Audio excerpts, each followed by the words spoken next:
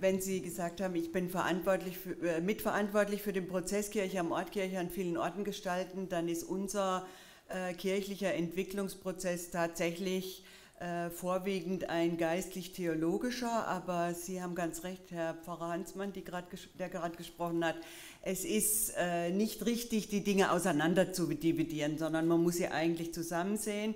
Herr Dessoir sagt, äh, Kirchenentwicklung ist synchron. Äh, von daher, als drittes wollen Sie ja mich fragen, was wir von Ihnen lernen können. Wir müssen tatsächlich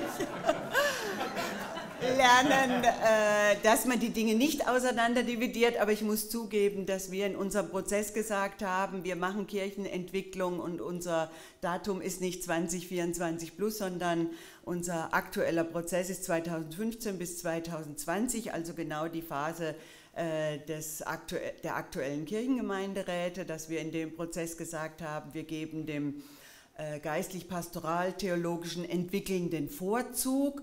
Und äh, angelegt war, sozusagen, erst müssen sich die unterschiedlichen kirchlichen Orte damit beschäftigen, äh, wer sie sind und was sie wollen und mit wem äh, sie unterwegs sind, also sich vernetzen, sich als eine Kirche als, an vielen Orten zu begreifen äh, und so weiter, also diesen geistlich-theologischen Schwerpunkt zu setzen und dann äh, kommen die strukturellen Fragen.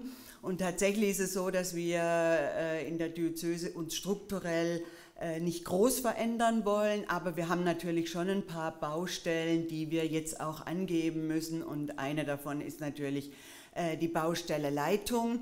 Wenn wir 2025 vielleicht 50 Seelsorgeeinheiten haben, die zwar noch einen Priester, aber keinen leitenden Pfarrer mehr haben, dann müssen wir das angehen. Aber unser Problem ist, dass wir nicht äh, den Prozess so machen, dass am 12. Oktober wirklich fertig ist, ist, sondern das Thema Leitung, das schieben wir ein bisschen auf die lange Bank und von daher können wir von ihrer strengen Datumsetzung äh, dann etwas lernen. Aber äh, wie gesagt, wir sind eigentlich äh, an der Kirchenentwicklung mit dem Fokus äh, geistlich-pastoral-theologische Entwicklung und haben ihn so auch äh, aufgesetzt, begleiten ihn auch so und müssen tatsächlich im Moment sagen, bei aller wichtigen Seite, dass die äh, andere Hälfte genauso wichtig ist, dass unser äh, Kern der geistlichen Haltungen, dass wir gesagt haben, da äh, müssen wir uns sowohl individuell wie organisational weiterentwickeln, dass wir darauf eher im Zuge des Prozesses äh, immer mehr zurückkommen und sagen,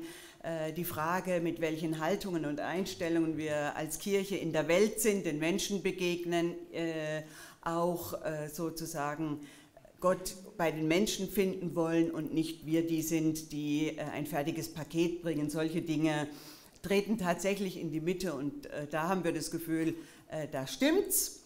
Aber wie gesagt, die Strukturdinge, die haben wir ein bisschen vernachlässigt, die müssen wir auch angehen. Dann nehme ich jetzt einfach die Antworten alle drei schon mit. Sie gestalten Strukturveränderung geistlich, vorrangig und dann die Struktur folgt den geistlichen Anliegen der Kirchengemeinde.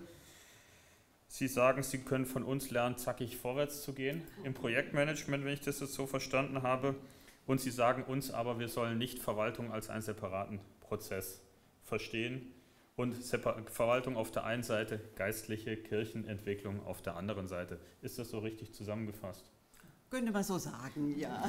ja. Also ich glaube, also, wir haben jetzt ein bisschen zwei Prozesse. Wir haben einen in der ganzen Diözese und wir haben einen in Stuttgart gemacht. Die Stuttgarter waren etwas schneller. Die Stuttgarter haben gesagt, wir machen Strukturveränderungen, wir bilden Gesamtkirchengemeinden.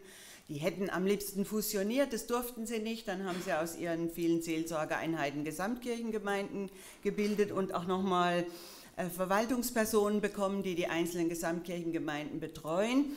Das kann man auch machen. Also man kann auch die Strukturfragen als erstes klären. Ich habe Sie ja so verstanden, dass Sie sagen, wir entlasten die Pfarrer und dann haben Sie Zeit, die Pastoral zu treiben. Aber diese Frage, wozu gibt es uns und wieso kann man, wieso braucht man in dieser Gesellschaft noch von Gott reden und solche Dinge, also um die kommen wir ja nicht drum rum. Machen wir sie vorher oder machen wir sie nachher? Wir sind vielleicht auch, vielleicht ist es auch ein bisschen eine Angst. Auf der anderen Seite nehme ich so wahr, Strukturveränderung, das ist auch was Handfestes, von daher liegt es vielleicht nahe. Die anderen Fragen sind eigentlich, finde ich, die größeren äh, und auch die schwierigeren. Mit Strukturfragen kann man sich auch ein bisschen beschäftigen, um das andere zu begehen, umgehen, muss aber nicht sein. Wir beschäftigen uns zum Beispiel in allen Diözesen mit Studien. Die Studien brauchen wir eigentlich nicht unbedingt, äh, beziehungsweise es ist ein bisschen Nebenbeschäftigung vor den zentralen Fragen. Aus meiner Sicht als Projektleiter kann ich einfach nur sagen, ich glaube, dass wir in Zukunft die Kooperation, Zusammenarbeit brauchen und es ist auch unglaublich entlastend, über den Tellerrand zu schauen und wahrzunehmen, jeder macht es irgendwie anders und es gibt nicht den einen richtigen goldenen Weg und wenn wir genau den nicht treffen, liegen wir daneben, sondern wir sind alle miteinander am Suchen. Ich bin Ihnen sehr dankbar. Ich habe Ihnen ein kleines Mitgebsel.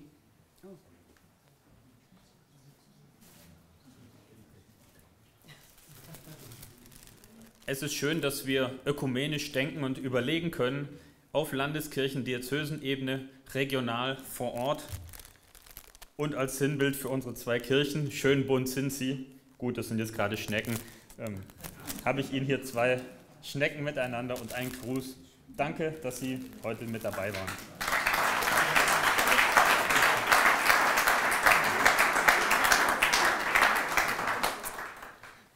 Sie haben ja freiwillig was mitgebracht. Sie haben zu mir gesagt, ich soll Ihnen was mitbringen. Habe ich gemacht. Äh, ist nämlich unser Prozessgebet und Sie meinten, ja, genau in diesem Sinne, wir speisen jetzt was geistlich-theologisches ein von Ihnen. Äh, Habe ich jetzt auch was fürs Herz bekommen, aber eben äh, viel Information zu Strukturen. Das wollten wir Ihnen einfach äh, ja, bringe ich Ihnen mit als äh, ein kleines Mitbringsel von uns und Sie merken, das sind viele, von daher bekommen alle was davon. Dankeschön.